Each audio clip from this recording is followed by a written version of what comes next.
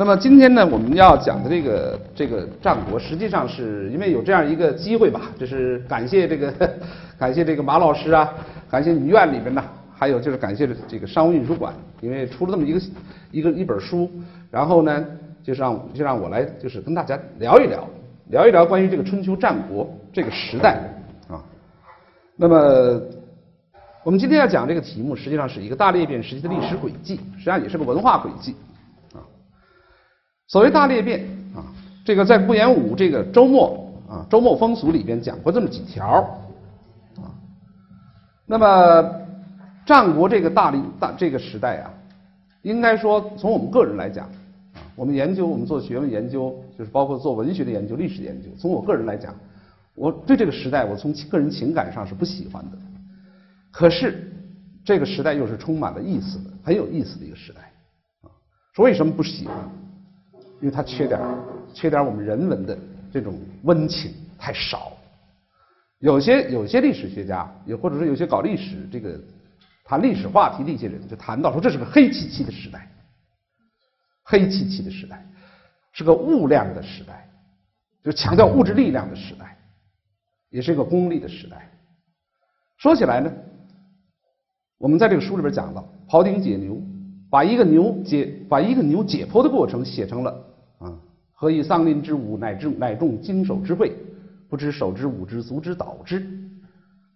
可实际上，最作为这是解牛者欣赏解牛啊，欣赏的态度看解牛者。可是我们要站在那个牛的身那个角度来看，那是个离骨的时代，骨肉相离的一个时代，到处是鲜血。可是历史又是那么严肃，我们站在今天，我们民族。非要走到那一天不行。实际上，有的时候我们在想这个问题的时候，我们经常会想：我们为什么非要走到这一步不行？我觉得在座的有学历史的，刚才那小女同学，可能还有学文学的、学古代史的。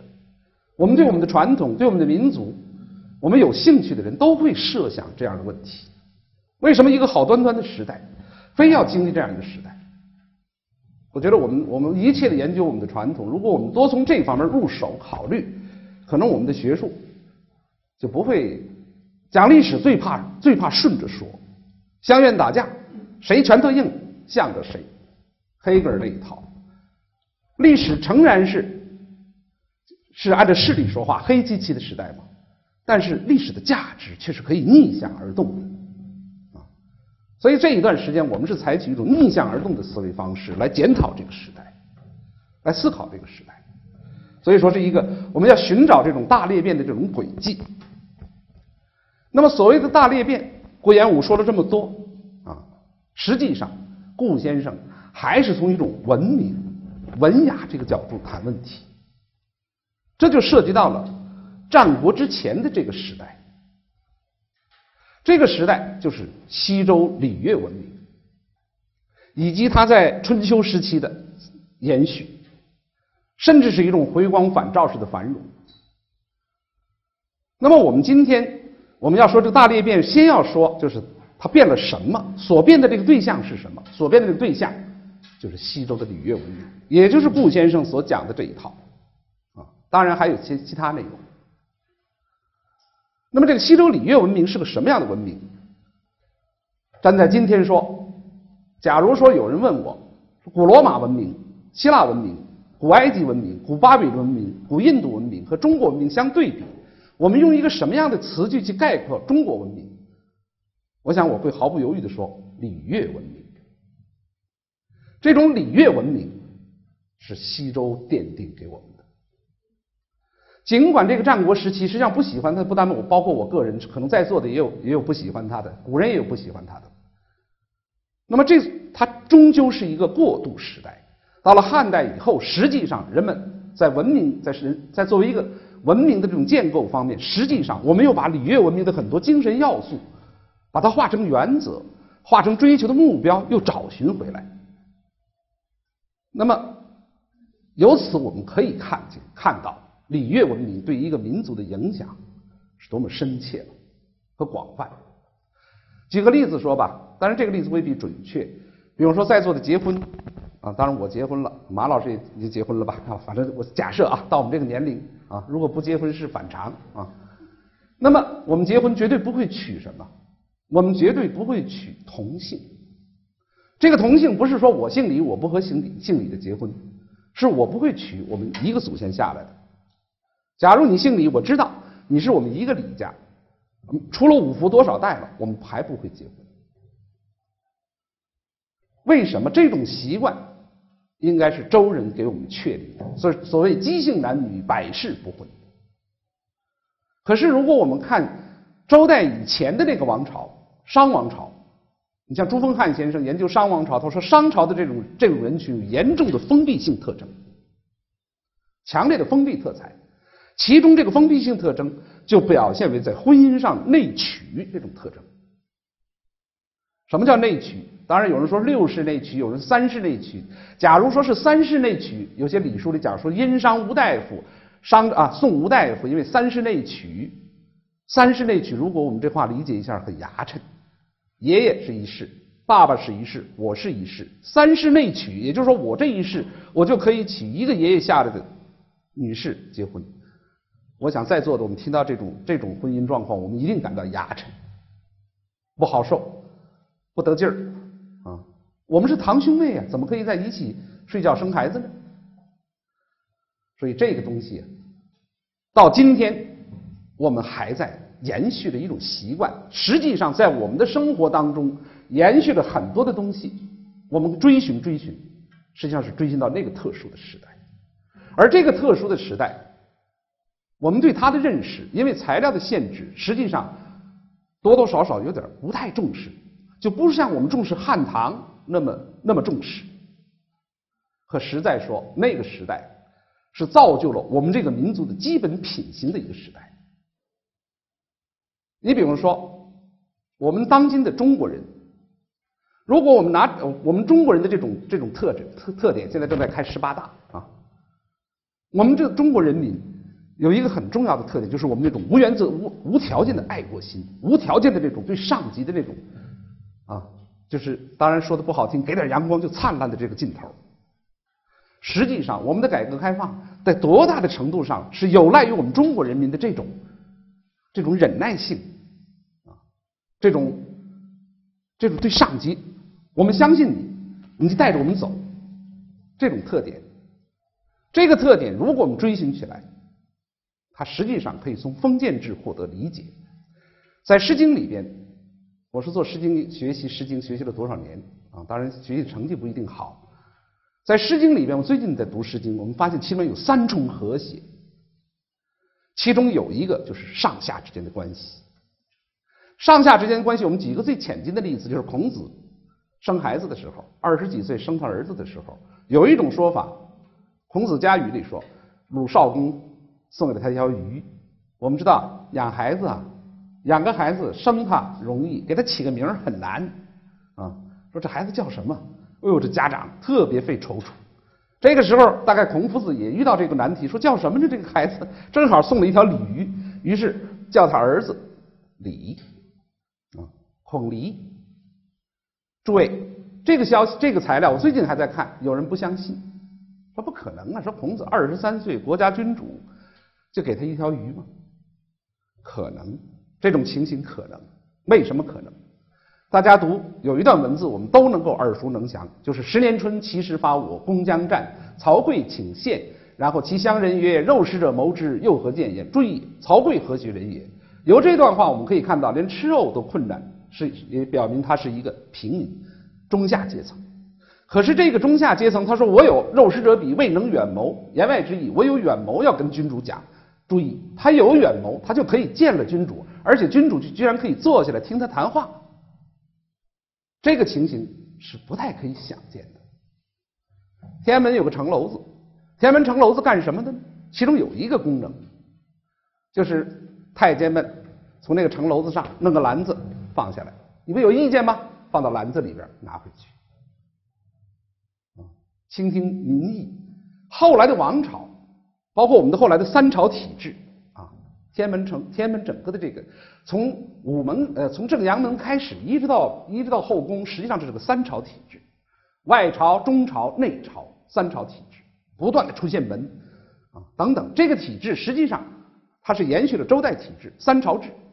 其中到了午门，很奇怪，怎么午门本来是进宫了，怎么还有东西马路可以走呢？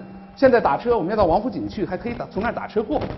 注意，这就是古代的特点，因为那儿是大外朝和中朝之间的一个界限，这个地方要悬挂政令，也可以有买卖人，民众可以可以在那儿自由活动。这说什么？就说我们的这个建筑实际上。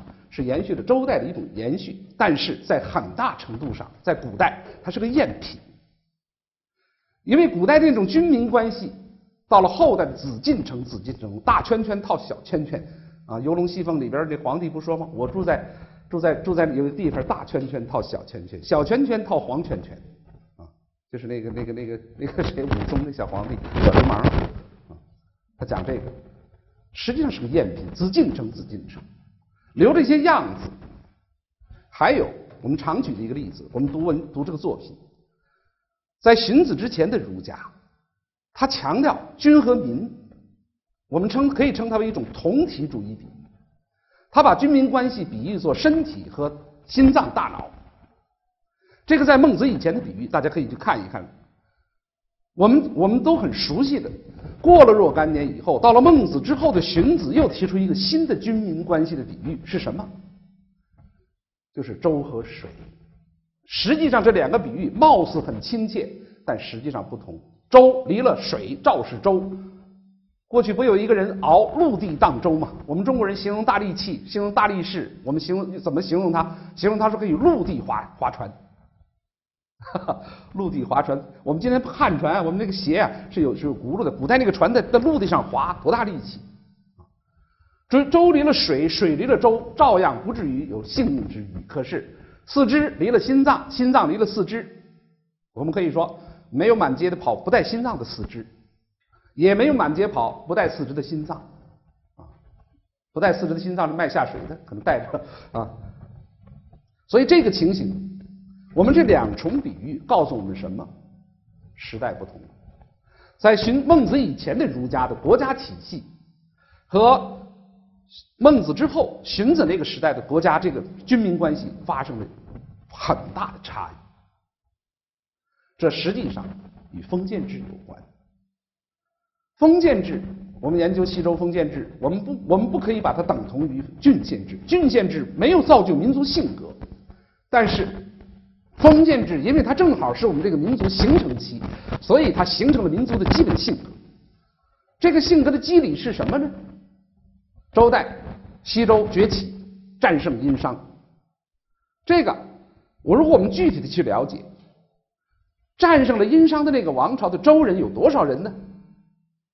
按照古代五家出一兵反推，周武王是带了三千虎贲之士，打了一个直捣敌巢，单刀啊。单刀直入的一种方式，把这两口子缺德的两口子灭掉了，然后再安定全国。那个时候三千人，三千人反推，五家出一兵嘛，三千人反推，一万五千户人家，一万五千户人家，我们给他算六七口，不用后来的五口之家。诸位啊，学历，我们中国后来古代称的五口之家，往往是不符合我们的实际的，那是个税收单位。是政府理想出来的理想的一个单位。政府当他算计今年的税收的时候，他基本上是按照五口之家去去想。实际上，在孟子还在周礼里边讲古代先秦人的时候，总是七口、六口、八口就很少啊。那么好，我们就按七口算，七乘以一万五，五七三十五，是十万零点。也就是说，周家它的直属人群，它只有十万人，殷商人有多少？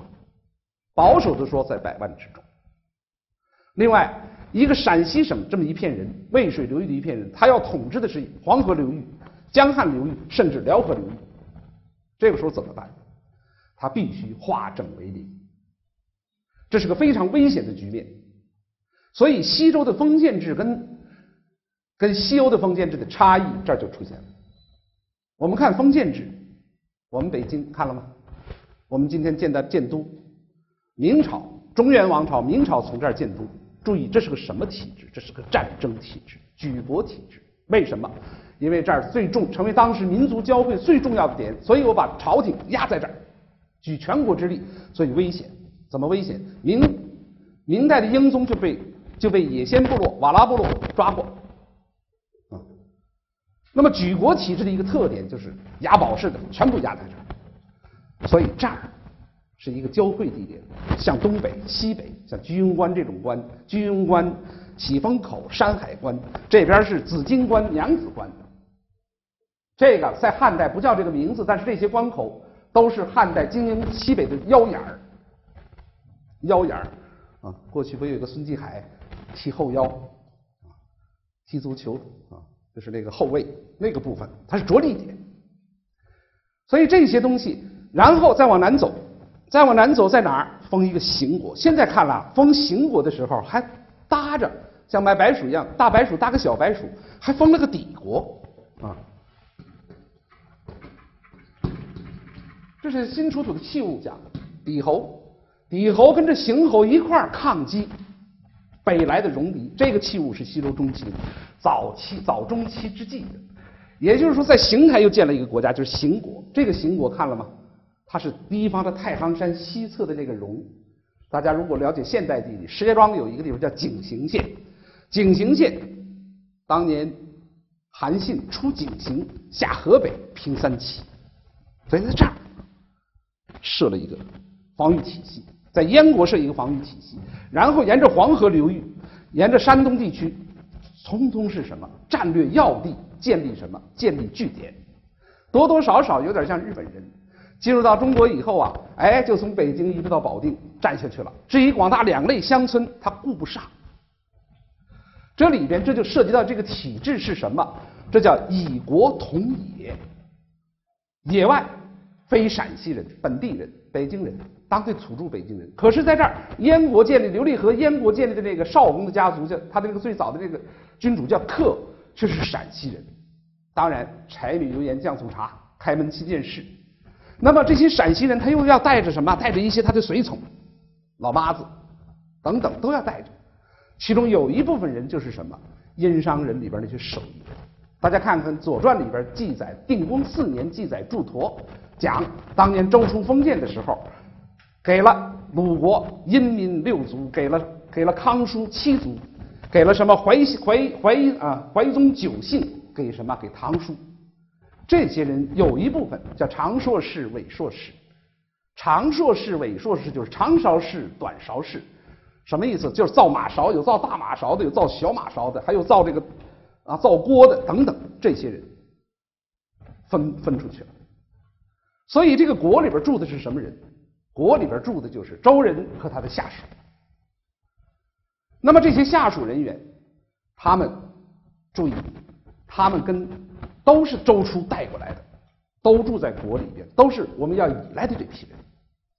所以在史书上就记载嘛，像鲁国，周人立社也给这些殷商人立社，地位虽然说不是那么平等，但是不能恶待他们。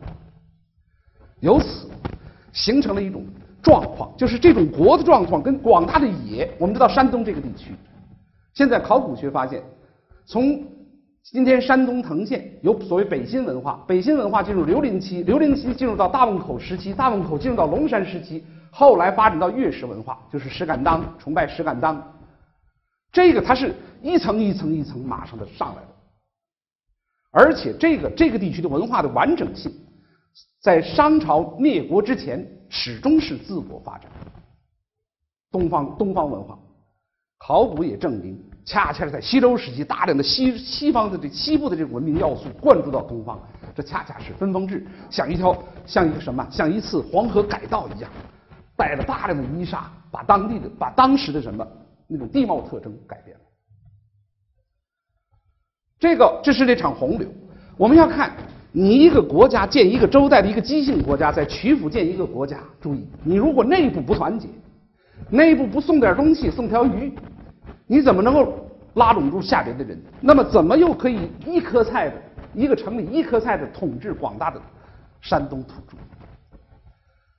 民族的性格在这儿初步的造就了几百年。为什么不能搞阶级斗争？有等级没问题。但是，如果再搞阶级斗争，再诞生阶级意识，别过了。所以我们可以说，中国是个单线索社会。这个这个话也没人这么提，我讲座也没没敢这么讲。单线索社会是因为我们周代形成的这种地貌特征所决定的。你像罗马，罗马的罗马城，我们都有一句老话，叫“罗马不是一天建成的”，它也没有这样一次封建体制占领要地的这样一个背景特征。所以呢，罗马城慢慢累积，罗马的贵族，罗马这个人。有人说是特洛伊的那个那个战俘们流亡到这儿，总之是这一群人占了这这个地方。可是呢，你占，别人也占，于是大家都聚集在这个要地，共同生活。可是罗马人最终掌了权，他们是贵族，其他人就变成了平民。所以在罗马社会，贵族我们不要以为贵族都是一些脑满肠肥的，有些人我是罗马人，我有公民权。我有投票权，我有当兵的权，这就是贵族。我没有这个权，我就是平民。所以这两个人在共建罗马的过程当中，实际上贵族离不了这些平民。于是这些平民就利用了这一点，展开了阶级斗争。这是西方文明，我们称这个社会可以称双线索发展。所以平民可以设立自己的保民官，可以逐渐逐渐，最后拿个小板凳坐到议会里边去了，坐到元老院里边去了。平民保民官一开始要穿不同的颜色的衣服，不能跟贵族平起平坐的。虽然你是保民官，但是你像有一次，罗马帝国罗马的贵族要战斗，于是怎么样？罗马的平民撤出。你们不是你们贵族不厉害吗？老子不伺候你们了，走了。没办法，罗马的贵族又把他们请回来，请回来以后要给相当的政治权益。所以阶级斗争这个事情在罗马的确是存在着。而且是作为一个带动历史进步的势力存在着，可是，在西周不存在这一个情形。如果周人内部在斗，就完了。恰恰相反，他还要跟异跟这些土著居民千方百计要取得和谐，他才能够达至他长治久安的一个特点。所以，我刚才我们说的那个第一重的和谐，就是上下之间要和谐。所以，《诗经》里边宴饮诗篇特别多。宴饮诗篇特别多，宴饮诗啊，跟我们今天宴饮不一样。我们今天比如说我求谁办点事儿，我出钱掏吃饭。但是在古代，谁有钱谁谁官大，谁势力大，我是贵族，我就天经地义的必须要施舍。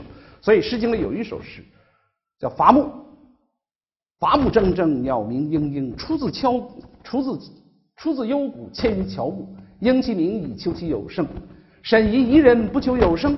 甚至听之中和且平，好诗啊！你听听，伐木铮铮啊，它不是伐木当当，伐木咔咔，咔咔是破坏，当当是攻击的，铮铮它就形成了自然的一个和谐的音。然后鸟鸣嘤嘤，注意啊，这个你知道，我读到这首诗的时候，我总想到一个俄罗斯电影，苏联电影叫《这儿的黎明静悄悄》，一大片森林里边，一帮英勇的女孩子们。很美好，铮铮的响。